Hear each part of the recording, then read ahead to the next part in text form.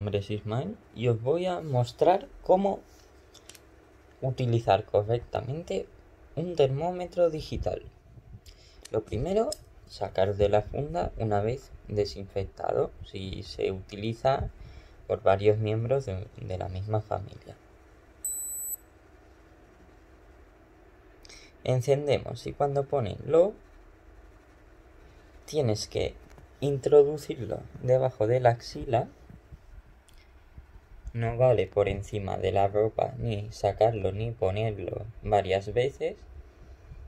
Y lo tienes que dejar hasta que pite.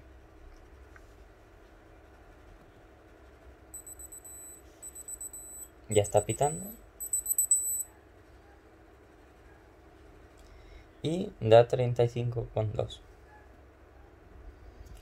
Muy importante mirar que esté bien colocado y que no interfiera la piel y el termómetro con, con alguna arruga en la ropa o algo porque alteraría la temperatura. Muchas gracias.